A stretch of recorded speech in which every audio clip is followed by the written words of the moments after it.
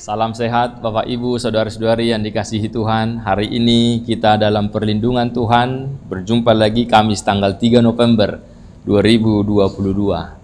Sebelum kita melanjutkan aktivitas kita, marilah kita disapa oleh firman Tuhan. Kasih karunia dan damai sejahtera dari Allah Bapa dan dari anaknya Tuhan Yesus Kristus menyertaimu sekalian. Amin. Saudara-saudari, firman Tuhan dari 1 Samuel 7 ayat 4 dikatakan demikian. Kemudian orang-orang Israel menjauhkan para Baal dan para Asitoret dan beribadah hanya kepada Tuhan. Demikian firman Tuhan. Hanya dengan pertolongan Tuhanlah kita beroleh kemenangan. Namun bagaimana mungkin Tuhan menolong kita di saat manusia mendua hati atau menyembah ilah lain?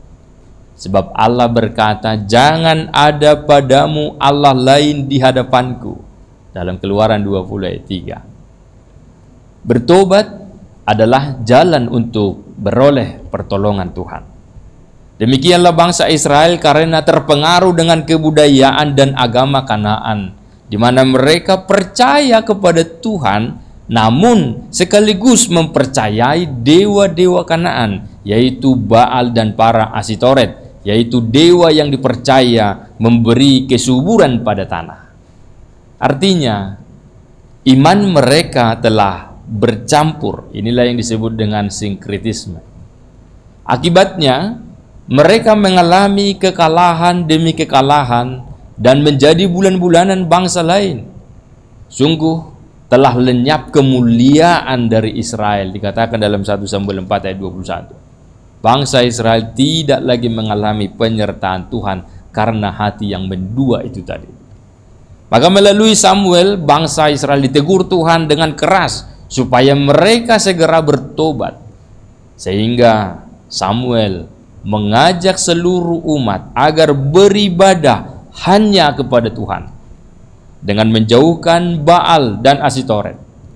Dan syukurlah umat pun mau bertobat dengan menjauhkan para Baal dan Asitoret tadi.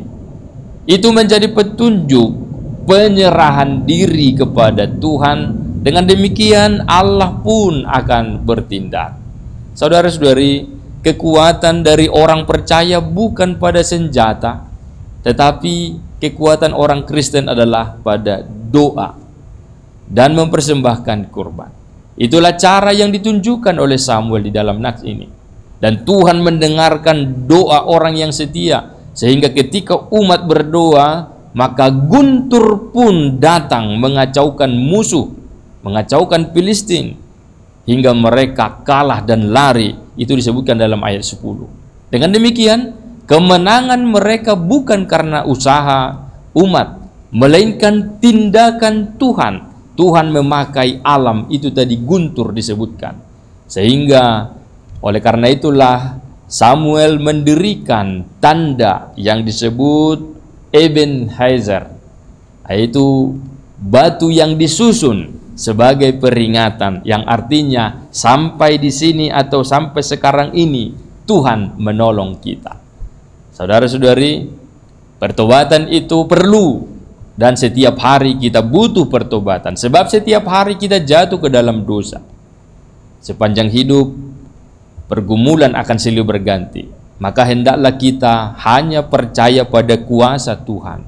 Sekalipun di sekitar kita ada kekuatan, ada materi, ada jabatan, ada budaya dan teknologi, ada masa dan yang lain-lain. Hati-hati. Semua itu bisa mengalihkan iman kita dari Tuhan.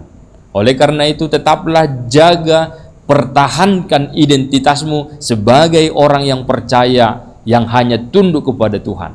Sekalipun engkau berada di tengah-tengah budaya dan agama serta kemajuan teknologi. Berbalik dari Tuhan itu adalah dosa.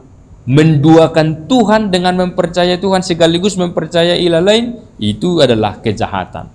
Maka yang diinginkan Tuhan adalah setia kepadanya. Dan orang yang setia akan diberkati. Orang yang setia ada dalam perlindungan dan juga masa depan ada padanya. Amin. Ya Tuhan Allah, kami hanya beribadah kepadamu dan itulah kebenaran sebab engkaulah Tuhan kami pencipta langit dan bumi dan segala sesuatu ada di dalam kendali Tuhan maka biarlah dalam setiap hal ketika kami masih hidup sungguh-sungguh hanya beribadah kepadamu. Manakala tantangan, hambatan, para musuh, para pembenci hendak hendak merongrong kami biarlah kami berseru kepadamu sehingga Tuhan menolong kami. Dan biarlah di dalam iman kami berseru sebab itulah yang engkau kehendaki dan doa orang yang setia engkau dengarkan. Ya Allah Bapa tolong berilah kekuatan bagi yang lemah sembuhkan yang sakit dan cukupkan kami akan segala kebutuhan kami dan dalam aktivitas kami hari ini biarlah sungguh-sungguh untuk kemuliaan Tuhan dan kami pun mengerjakannya di dalam iman kepada Tuhan. Dimuliakanlah namamu dalam nama Yesus Kristus. Anugerah Tuhan kita Yesus Kristus dan kasih setia Allah Bapa dan persekutuan Roh Kudus menyertaimu sekalian. Amin. Selamat beraktivitas Bapak Ibu Saudara-saudari, Tuhan Yesus memberkati. Shalom.